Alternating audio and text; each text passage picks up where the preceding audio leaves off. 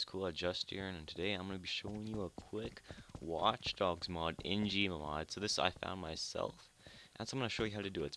First, you need to go in the sandbox map on uh, sandbox mode. Then you want to get a crossbow. And then you want to look for the Vinewood sign, or I can't see, uh, whatever. You need to shoot the W in the sign, because that equals Watchdogs. So now, just wait a second and it'll go to Watch Dogs.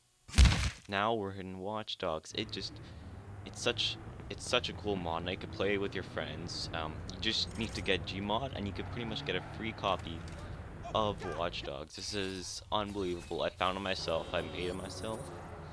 So uh, yeah, this is uh, really awesome. So all you need to do is do that step and you have Watch Dogs. So enjoy.